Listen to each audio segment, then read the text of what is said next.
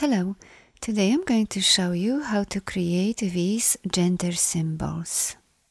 First open a new document, select the ellipse tool and draw a big circle. Next press the Ctrl and C keys on your keyboard to copy it and Ctrl F to paste it in front.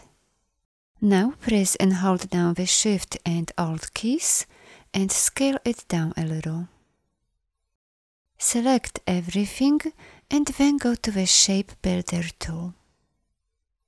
Press and hold down the Alt key to switch to the minus option and click in the center circle to create a negative space. Next, we'll create a cross.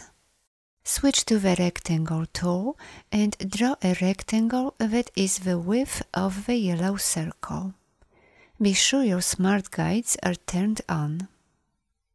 Now move it down and align it with the circle. Create an extra copy and rotate it by 90 degrees. Let's copy this cross to the top. Select this rectangle and copy it to the bottom. Now select this one and align the top right corners. Select both shapes and rotate it by 45 degrees. With the top two shapes selected, press the letter G to group them together. Select all three shapes and open the Align window. Now align them horizontally to the center.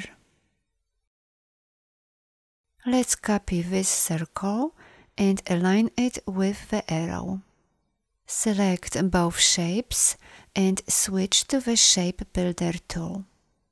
Now connect all parts and delete any unwanted shapes. Select the symbol on the left and do the same.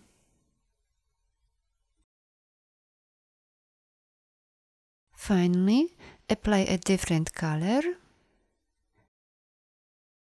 Rotate the blue symbol by 45 degrees.